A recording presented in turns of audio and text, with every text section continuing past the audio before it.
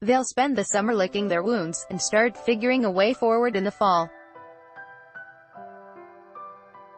The Ontario Liberal Party, after a devastating electoral defeat that brought an end to their 15 years in power and reduced their caucus to seven MPPs and without official party status, now has to find out where things went so wrong. Liberal MPP Mitzie Hunter said the party, reduced to 7 MPPs, has heard from voters and now will look to rebuilding. The results speak for themselves, it was a clear message, said Hunter, who represents Scarborough-Guildwood. We have to listen to that, Carlos Osorio, Toronto Star, Ontarians sent us a clear message. Liberal interim leader John Fraser, told the Star. We need to take a break and do some soul-searching.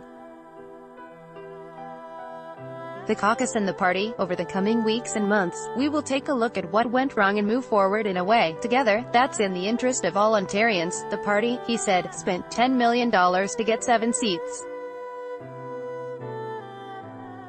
In that respect, membership wants some answers and we'll go forward and continue to take a hard look at ourselves and what happened. The Liberals, especially the seven who survived the election, know they have a lot of work ahead of them and will be at the center of rebuilding efforts. Article continued below. The first thing is listening to people, to get a better understanding of why people felt so disconnected, said MPP Michael Coteau, who was re-elected in Don Valley East in a tough fight with PC candidate Denzil Minnan-Wong.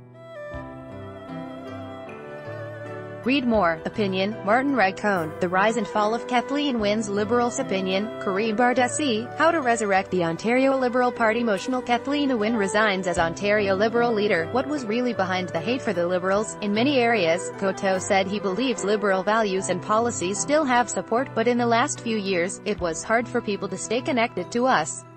Article continued below Fraser has sent out a letter to the party faithful saying,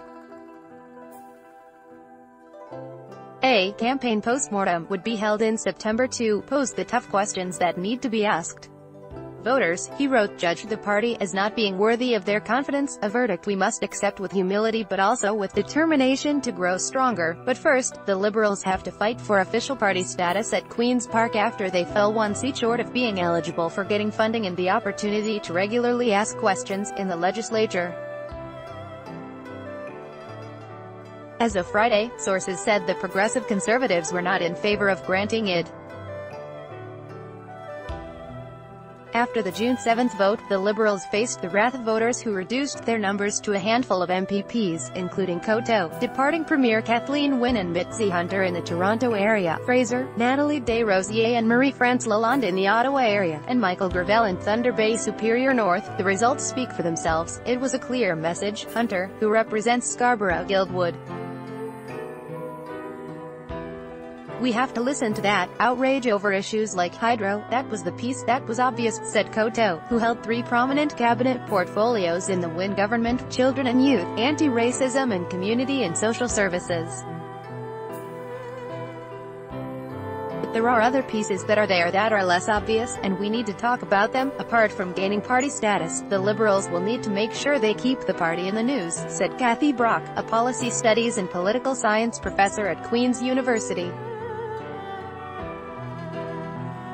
But the more important thing is that the Liberal Party has to get in touch with its constituency associations and find out what was said at the doors during the election campaign, she said. It's not just anger that brought them down, she added. What they've got to do is a good analysis of where did things go wrong, and then start to rebuild the party platform that way. They alienated their own voters. Though many turned to the NDP this time, she said, if the Liberals give them a reason to come back, they will. As for the party, the other piece that's going to be challenging, we are going to be in debt. Coteau added, at a time when fundraising is not going to be like it has been over the last 15 years, he said, we are going